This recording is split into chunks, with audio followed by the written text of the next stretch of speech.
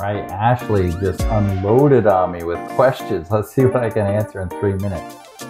So Ashley's asking, uh, number one, can mold contribute to the common cold or flu becoming an infection, bacterial, bronchitis, strep, etc.? So yes, when you have mold exposure and you're living in mold, we see this especially with kids, uh, when they get a common cold, it just doesn't seem to go away. It lasts longer than uh, other families with the same thing do. Okay, so while another family's kids might be um, better in four or five days, your kids are taking two weeks, three weeks. That's a sign of the immunosuppression, the immunodepression from the mold.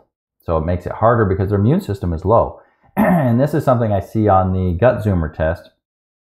Excuse me, I don't know what I just ate, but it's stuck right there if you're wondering.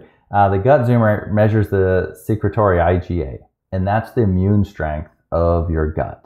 And when I see people have been living in mold for long, that just falls way down under range. Like I think the range is between 450 and 1200. So a normal healthy person, you're going to see just over a thousand and I had someone submit one or didn't submit one. It, the results came in a few days ago, and I, I, don't remember who. Obviously, I wouldn't say their name, but I don't remember if it's a child or adult, I should say. But it was down in the 100s. So their immune system was a tenth, literally a tenth of what it should be.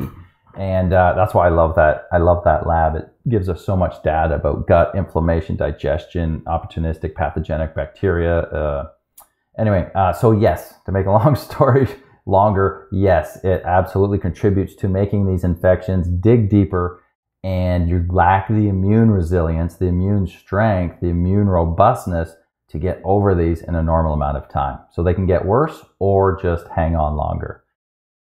Um, number two, can you detox from mold? Yes, and I haven't edited it yet, but I so I don't know the number. But whatever number this is, go back five or six or so, and or look at the pinned post that has the directory of all the um, videos, and one of them is a basic bare bones outline of first steps of mold detox. Number three, can you recover from the damage done? Yes, absolutely. Well, it depends how long you're in it. If you're if you've been living in it for 50 years and you have severe health conditions, you're probably going to still have some issues at the end. But can you make a giant gain in health and how you feel? Absolutely. The younger kids can bounce back 100%. Yep. Again, it all depends. What are the molds? What are the concentrations? How long were you in it? What are your genetics? What was your protocol? So we have all these variables that dictate, but done properly, you can undo a lot of damage. And in some instances, you can uh, get back to feeling the way you did before. All right, I hope that helps, Ashley. Do you have questions about mold in your home or body? Book a consultation with Matt, aka the Mold Man, to guide your home and body to the next level of healing.